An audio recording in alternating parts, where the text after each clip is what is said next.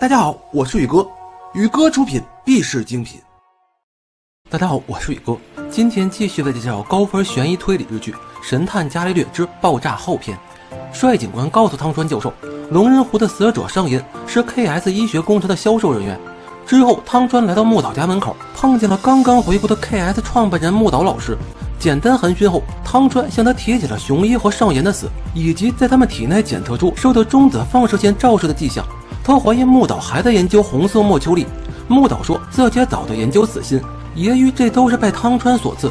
汤川反驳道，在老师的计划中，完全缺乏核反应的控制系统。从那个研究所产生的东西不是反应堆，而是小型核弹。若落到谁手中，后果不堪。木岛强行打断了他的话，那是使用人的问题，科学家只负责研究。两人的聊天已被秘书公子偷偷录了下来。汤川认为熊一的遇害时间是十月十六日，并不是熊爷与木岛在门口起争执那天。至于上岩的死，可能是木岛的帮手所为。木岛淡淡的说：“逻辑展开太过粗糙，你的论文最好从头开始改写。”汤川表示自己一定会解开熊一与上岩的死亡之谜给老师看。女主赶到研究室，便迫不及待将上岩的身份说了出来，却发现汤川不在。在他的询问下，老林讲解了汤川与木岛的关系。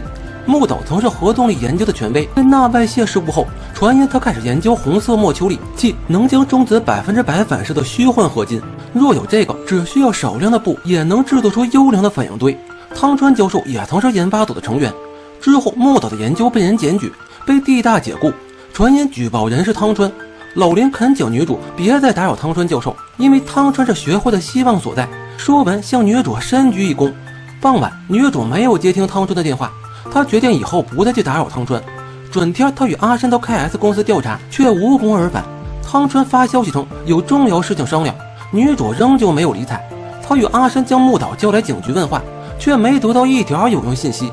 木岛回家后，发现秘书公子正在剪辑汤川的录音，他为因琐事让木岛老师分心研究而自责。女主走出警署，发现汤川正在等她。汤川问他为何故意躲避自己。女主诚恳地向他道歉，说以后不会再麻烦他。听罢，汤川说自己不喜欢半途而废，即便这次没有警方帮助，他也会解开谜团。转天，秘书公子自杀了，所使用的手枪与杀害熊一的枪一样。他在遗书上承认是自己杀死了熊一和上岩。女主认为事情绝没那么简单，决定继续调查。他将熊一的留言拿到科搜研研究所，经分析，技术人员告诉他，留言中的声音确实是熊一。但所有单词都是人为拼接制作而成的。老林看到汤川无心实验，独自前往龙人湖搜集线索。学生们看到他的举动，也纷纷加入了帮助汤川教授破案的队伍。帅警官告诉教授，K.S 公司销售上岩八年前曾在前南斯拉夫工作，之后便做了武器商人。结合木岛的话，汤川突然觉得自己之前想错了，并不是木岛想杀熊一和上岩，而是熊一与上岩想杀木岛。他迅速拿起笔，在纸上写下几个公式。将已知线索贯穿其中，得到了自己的猜测。熊一应该已经使用在核反应堆冷却的超级钠研制出来了。这样一来，龙人湖爆炸便可以解释通了。为了验证自己的猜想，他带着学生们在河边成功完成了爆炸实验。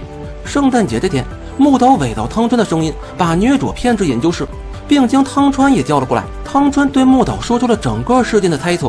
熊一发现上岩是隐藏在自己公司的武器商人。所以把上岩带到湖上，使用超级钠引起爆炸，将其杀害。熊一发现公司实际是以开发核武器为目的的研究所后，找到您想纠正您的想法。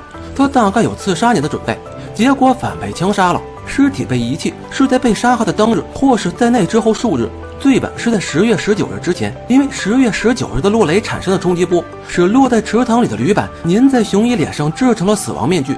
之后为制作不在场证据。公子冒充熊一，骑着摩托从大楼管理员身边经过，并从熊一原来的声音中取样，制作出假声音给熊一母亲留言。最后，您用杀害熊一的枪杀了公子，让他蒙上所有罪，迫使警方结束调查。听罢，木岛说：“你的分析很精彩，只有一点你错了，我并没有杀公子，他是为了让我继续研究，甘愿牺牲了自己。真正理解我的人，恐怕只有公子。”没有他，我不知道该怎么办才好。越是这样想，我才会越嫉妒你们的未来。说完，他一把扯开幕帘，只见女主被绑在一个机器上。汤川问道：“红色莫丘利？”木岛自豪地说：“是的，它足以毁灭一半东京，算是我留给你的最后课题。解除方法共有七千八百五十四种，但正确答案只有一个。时间截止到今天午夜十二点，还有三小时。汤川为木岛的行为所不耻，是你让公子去杀熊一的吧？你根本不配当科学家。持续危险的研究导致两人死亡，却绝不会弄脏自己的手。你已经想到公子会为你走上绝路，却坐视不理。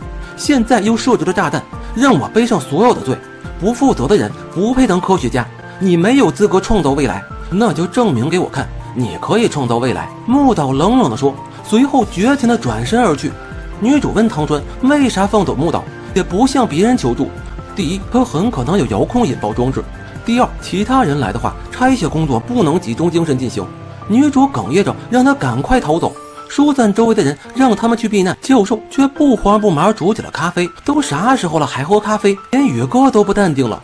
见他不肯走，女主哭着哀求道：“我不想让你死，求你快走吧。”汤川却坚定地说：“我做不到，因为我也不想让你死。”时间一分一秒过去，木岛倒上两杯香槟，准备度过最后的圣诞。汤川首先用质音分解法将能被无整除的数从七千八百五十四中去掉，接着打开工具箱，测定电压后将风扇冷却，灭掉了一些电路。他一边拆卸电路板，一边对女主说：“告发木岛老师的不是我，而是他的助手。当时我一边否认木岛的想法，一边继续研究，结果我也成了与木岛一样的人。不，你跟他不一样。”女主大声否定道。汤川让女主拿住打印的电路图，他要全神贯注进行拆除。错一步，两人都活不成。时间一分一秒过去，汤川终于将眼前的电路破解了。岂料左边的机器又启动了，满屏都是阿拉伯数字。他发现这些数字使用了斐波那契数列，于是开始在电脑上进行演算。但渐渐的发觉自己还绕了远路。那些阿拉伯数字乍看似乎有规律，实际上是会根据出舍者产生变化的。经过计算，终于所有电路图都清楚了。突然，扣在机器上的拱形盖子向上抬起。女主以为结束了，汤川却说才刚开始，最后剩下一分半。汤川打开盖子，露出了密密麻麻缠在一起的电线。这下他也懵了，只能靠运气了。他问女主最喜欢什么颜色，粉红色。闻言，一向理性的汤川用钳子剪断了一根电线。